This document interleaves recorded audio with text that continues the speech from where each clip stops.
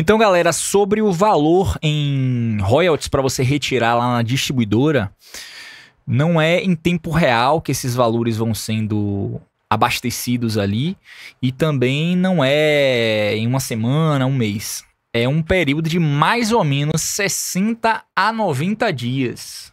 Então suas músicas vão estar tendo plays e aí, ali, depois de 60 a 90 dias, é que você vai acompanhar no painel da sua distribuidora os seus valores pendentes para você poder estar retirando, beleza?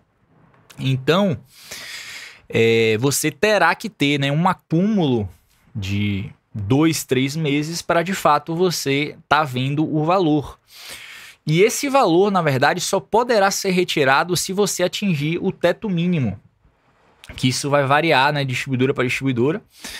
Mas vamos supor que seja 2 dólares o mínimo para você retirar. Então vai ter que bater no mínimo 2 dólares para você estar tá retirando, beleza?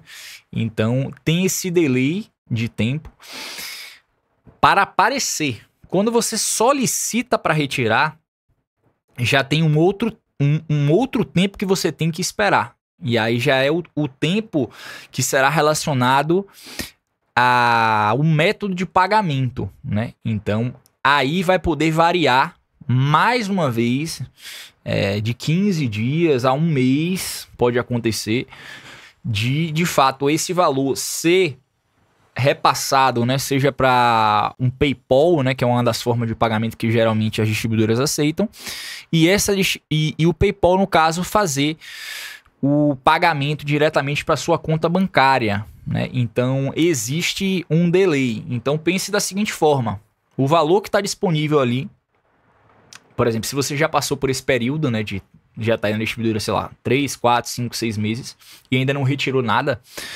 o valor que você está vendo ali é relativo aos meses anteriores, entendeu? Então, o valor que você está tirando hoje sempre será relativo aos últimos meses, né? Com pelo menos aí é, é, é dois a três meses atrás, entendeu? E é dessa forma que funciona. Realmente é uma coisa que acaba incomodando muita gente, né? Mas é a forma que funciona. É, infelizmente não temos como recorrer relacionado a isso, né? Mais uma vez, deixando claro para vocês aqui que hoje em dia eu não faço mais parte da DistroKid. Muita gente aqui me conheceu através dos vídeos da DistroKid, mas eu continuo se indicando a distribuidora, acho que o serviço da DistroKid continua sendo excelente. A questão de eu ter saído da DistroKid e feito o meu repasse de catálogo para o OneRPM foi uma escolha minha devido ao meu momento de carreira. Então eu quis, de fato, não estar tendo esse investimento no momento em distribuidora. É, tirando que eu já distribuía também com o RPM em pro, outros projetos que eu tenho, né? Eu tenho projetos também de instrumentais, etc, né? Que às vezes não levam nem meu nome, mas assim, eu publico pelo RPM. Então, dessa forma, eu fiz minha transição de catálogo e também fiz um vídeo para vocês aqui, para vocês fazerem da forma correta, caso seja da vontade de vocês, saírem de uma distribuidora e irem para uma outra. Beleza? No exemplo do vídeo eu fiz da DistroKid para a UNRPM, mas pode ser para qualquer uma outra, serve para qualquer uma outra essa metodologia.